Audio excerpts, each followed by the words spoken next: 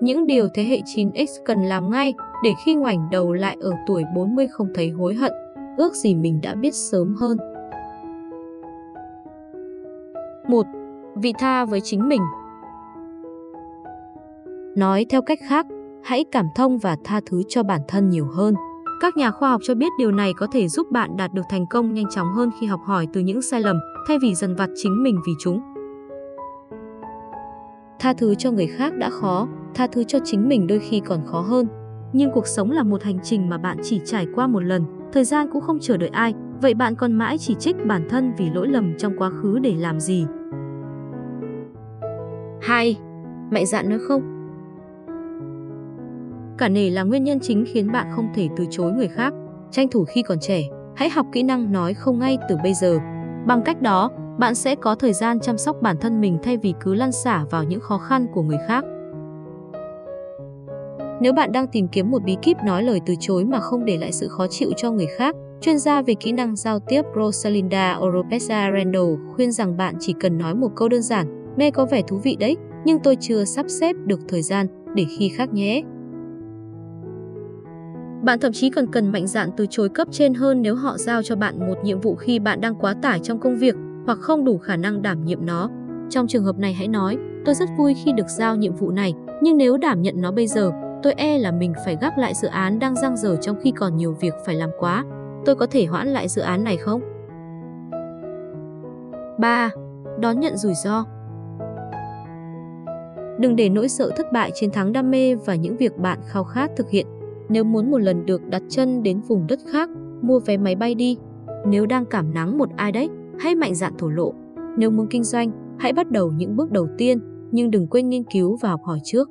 Đừng để đến khi bước sang tuổi 30, chứng kiến bạn bè ngày một thành công, hạnh phúc rồi mới hối hận, ước gì mình đã vượt qua nỗi sợ thất bại và bắt đầu sớm hơn. 4. Biến điểm yếu thành thế mạnh đây cũng là điều mà kinh ngư Michael Phelps và cố thủ tướng Anh Winston Churchill học được, như tác giả Eric Barker đã viết trong cuốn sách Backup The Dòng Chi của mình. Đối với Michael Phelps, việc sở hữu một thân hình khác biệt khiến anh khó khăn trong việc chạy hoặc nhảy múa, nhưng nó lại là thứ giúp anh có khả năng bơi lội hơn người. Đối với Winston Churchill, căn bệnh rối loạn lưỡng cực từng khiến ông bị coi là người không phù hợp với chức vụ cao trong giới chính trị, nhưng chính nó đã giúp ông nhận ra Hitler là mối đe dọa nguy hiểm với thế giới. Hãy tìm ra điểm kỳ cục trong bạn và biến nó trở thành thứ giúp bạn chiến thắng. 5. Học cách thỏa thuận, đàm phán. Kỹ năng đàm phán là một trong những yếu tố quan trọng trong sự nghiệp của bạn. Đầu tiên là đàm phán mức lương khi bắt đầu công việc, sau vài năm bạn lại đàm phán mức lương cao hơn hoặc khi chuyển công ty mới. Kỹ năng này có thể giúp bạn nhận được mức thu nhập cao hơn hẳn những người không có nó. Nếu bạn lo sợ rằng mình sẽ phá hỏng cuộc thỏa thuận lương đầu tiên của mình, hãy tìm hiểu về vị trí và thu nhập trung bình của vị trí bạn định ứng tuyển từ bạn bè hoặc các công ty khác. Ngoài lương hàng tháng, bạn cũng có thể thỏa thuận với cấp trên về tiền thưởng năng suất, các loại bảo hiểm và chính sách đãi ngộ khác nữa. Một người đàm phán giỏi không chỉ đem lại lợi ích về vật chất cho mình, mà còn xây dựng được lòng tin, uy tín đối với người khác. 6. Đừng so sánh mình với người khác. Đừng tự so sánh bản thân với người nào khác. Trong thời đại truyền thông xã hội phát triển mạnh mẽ như hiện nay, bạn sẽ dễ dàng thấy được cuộc sống của người khác diễn ra như thế nào. Bạn chứng kiến bạn bè kết hôn, sinh con, sống một cuộc đời xa hoa, giàu có, đầy hạnh phúc, rồi bạn tự nhìn lại cuộc sống bận rộn của chính mình và thấy chán nản về nó. Mỗi người trong chúng ta đều có cuộc đời của riêng mình. Sự hạnh phúc của người khác không làm bạn tổn thương, mà chính suy nghĩ của bạn đang làm đau chính mình. Thật vậy, nhiều nghiên cứu cho rằng so sánh chính mình với người khác là điều hoàn toàn vô nghĩa, vì những gì mọi người thể hiện trên mạng xã hội chỉ là thứ họ muốn người khác nhìn thấy và thực tế thì chưa hẳn đã là như vậy. 7. Đừng ngại thay đổi hướng đi. Học đại học, tốt nghiệp, thực tập rồi tìm một công việc ổn định có thể là hướng đi chung của nhiều bạn trẻ. Nhưng sẽ ra sao nếu đó là ngành nghề bạn không mấy yêu thích? Hãy làm công việc mình thực sự hứng thú và mạnh dạn thay đổi khi thấy phù hợp.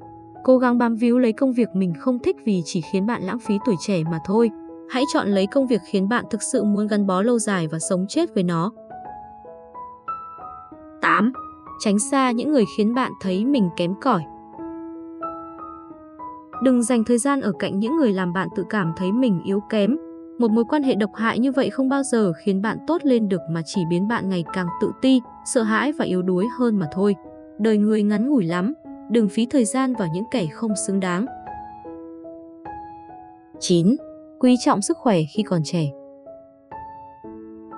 Nhiều người khi đã bước sang tuổi trung niên mới ngậm ngùi ân hận, giá như ngày xưa mình đã quan tâm đến sức khỏe hơn. Thay vì kiểm tra sức khỏe tổng quát thường xuyên và chú ý đến chế độ ăn uống, nhiều bạn trẻ lười biếng ăn uống cho sướng miệng dẫn đến thừa cân, béo phì hoặc chủ quan, phớt lờ những biểu hiện lạ dù chỉ là nhỏ nhất của cơ thể.